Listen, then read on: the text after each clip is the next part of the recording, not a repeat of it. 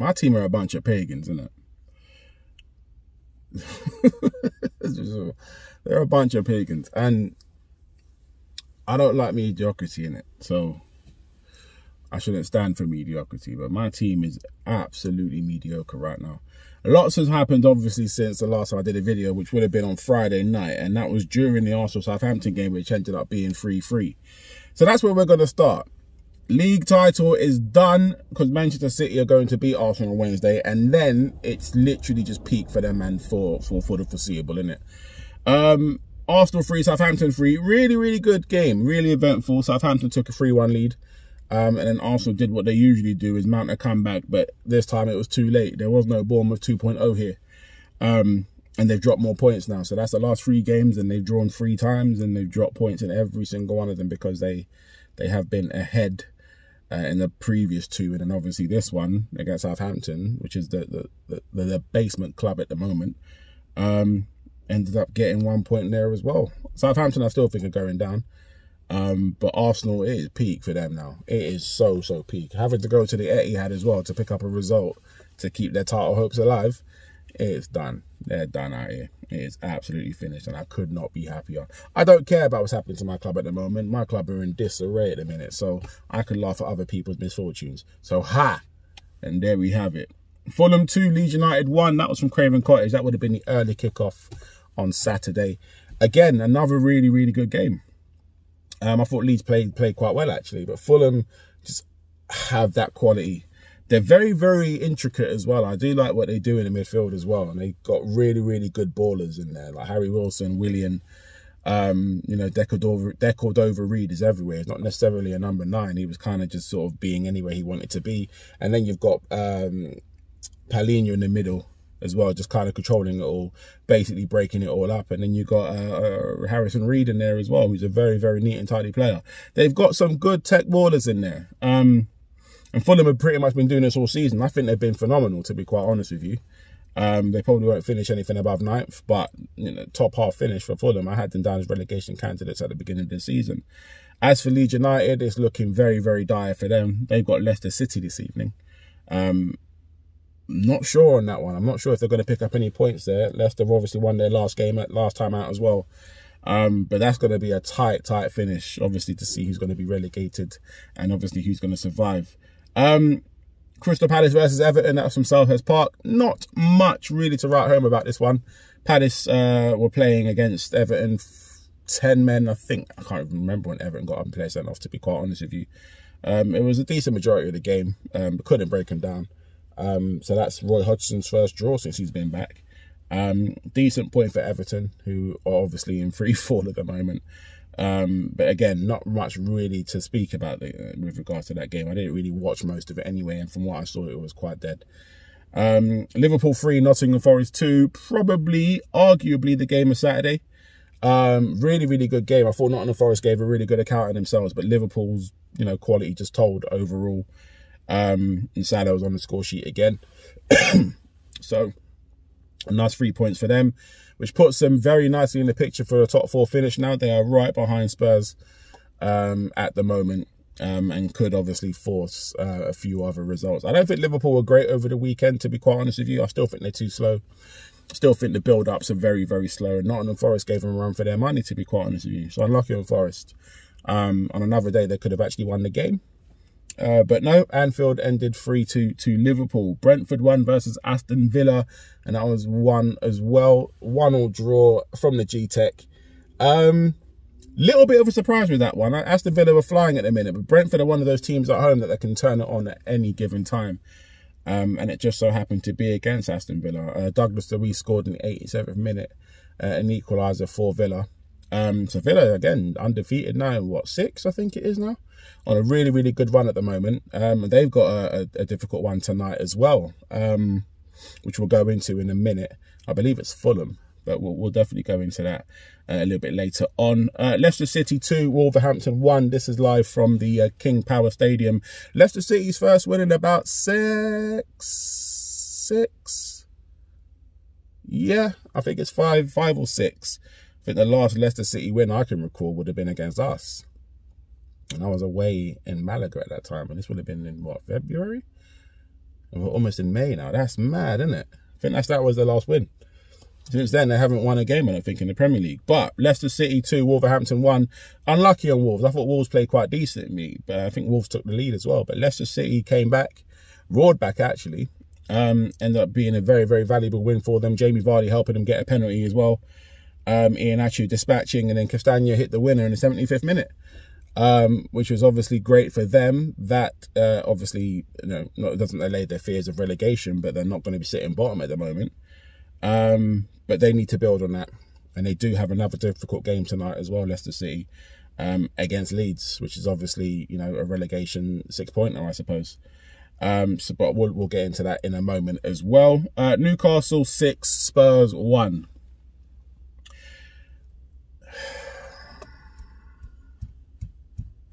Not much else I could really say to that. We were we were 5 0 down inside 20 minutes. 20 minutes, I think it was.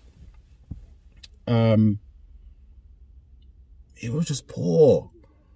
Started with a back four uh, with defenders that can't defend. Perisic is not a defender. Pedro Porro is not a right back. Eric Dier is not a centre back. They don't work in a three. How are they going to work in a four? And then you've got Sarr, Skip, and Højbjerg, which is the most unspiciest midfield you could ever think of.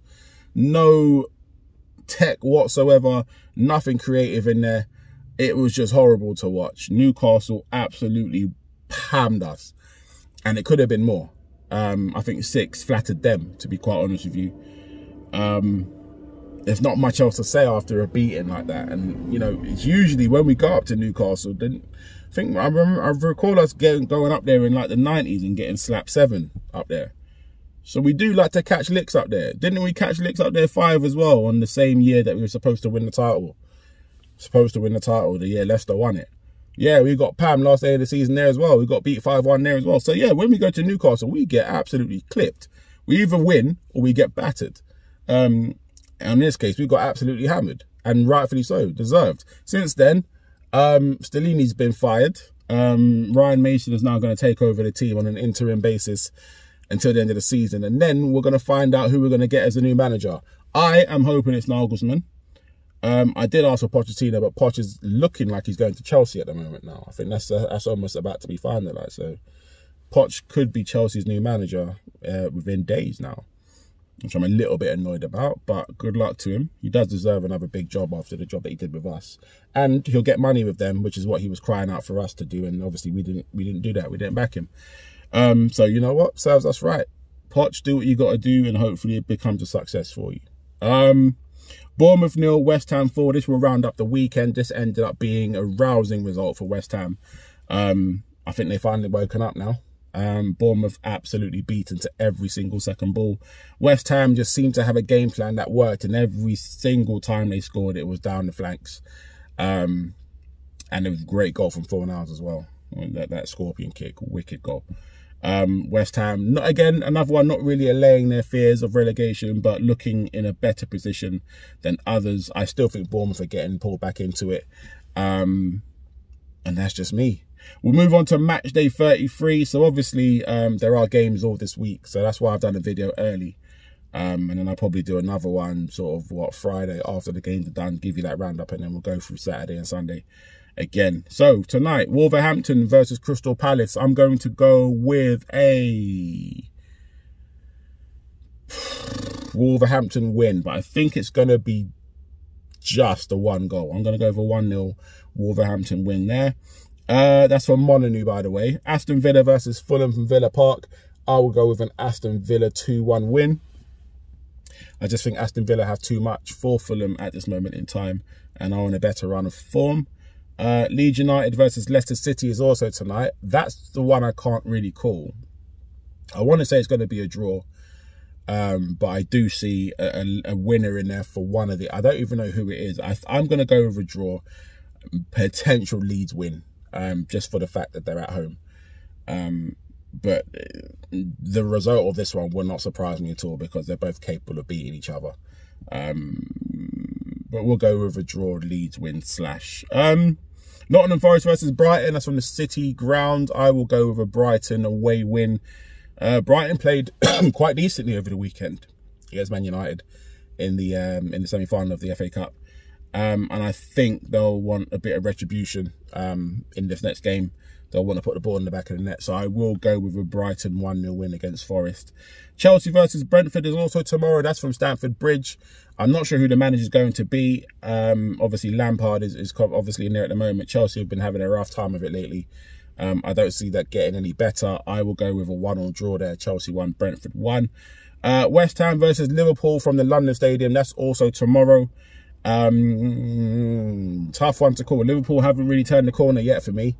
Um, West Ham have a really, really, really good, good result uh, last time out against Bournemouth. But Liverpool are one of those teams that like to go to London Stadium and get the result.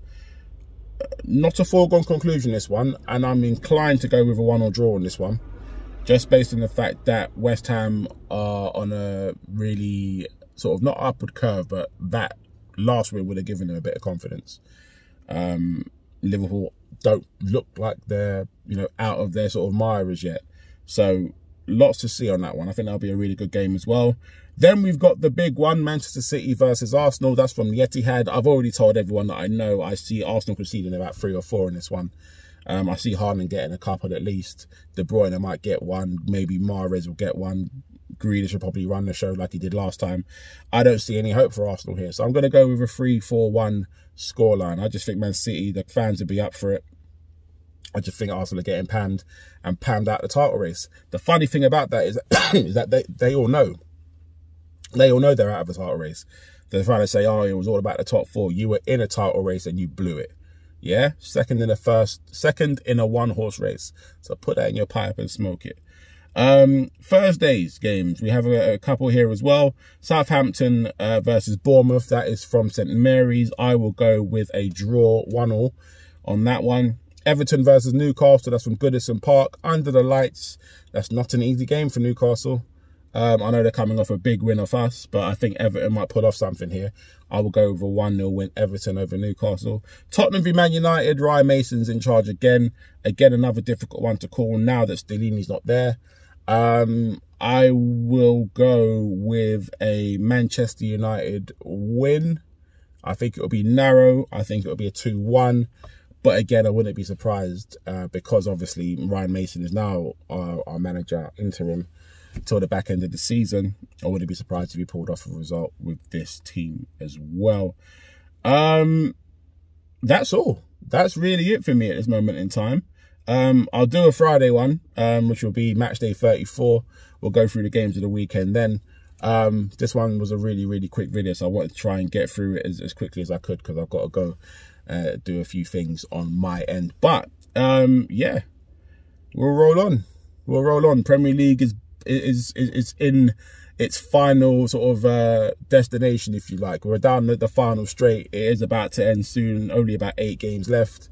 And we're going to enjoy them. I don't care if we ain't got a manager. I don't care if we don't get top four. As long as Arsenal don't win the league, that's all I care about. Um, but we'll, we'll, we'll, definitely talk again. But thanks for uh, for watching, and uh, we'll, we'll speak on Friday in a bit.